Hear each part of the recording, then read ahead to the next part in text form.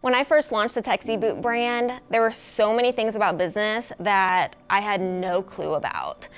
And there were so many women who had come before me that pointed me in the right direction, mentored me, coached me, and uh, or at least was like, you can figure this out, but head in that direction.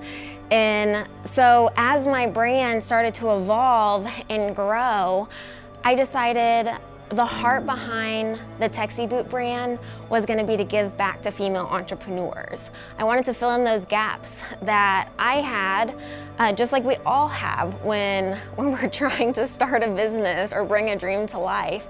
I wanted to have a conference that could pour into those women's lives and give them the tools that they needed to make that dream a reality.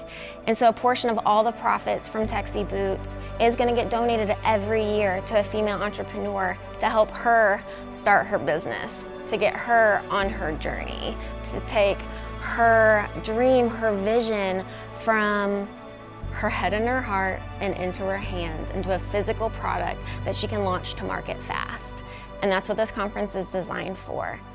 Whether you just have dreams, they haven't even made it to a notebook yet, and you have no idea where to start, but you just know in your heart that you were meant to do something for yourself one day, this is the place to be.